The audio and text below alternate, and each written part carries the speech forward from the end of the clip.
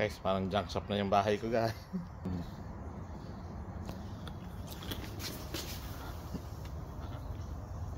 Malabo.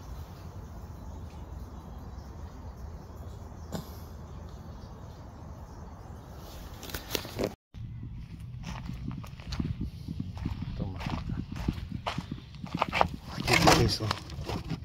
Guys, makita guys oh. Oh. Diba? Tapos may motor makina pa dyan. Oh. Oh. Generator guys to. Problema paano kakarga to? Hmm. Guys, mga tinapon niya.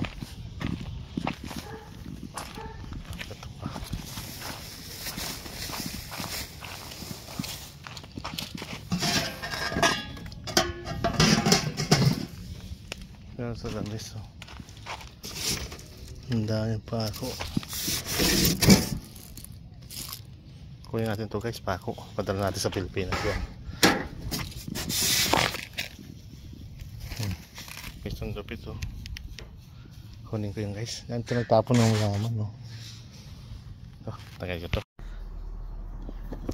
Hi guys! Ngayon paanda rin natin nga ngayon guys yung aking nakuhang generator saka makita na blower ito guys oh. try natin yung revolusyon kung may tunog siya.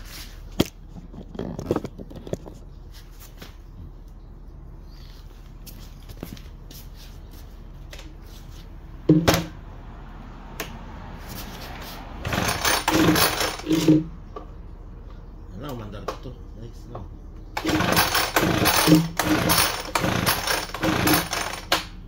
natin ang gasolina, baka lumad na. Ito naman. Ito natin. Ito yan guys. Ayaw. Ayan o. So yan guys. Honda.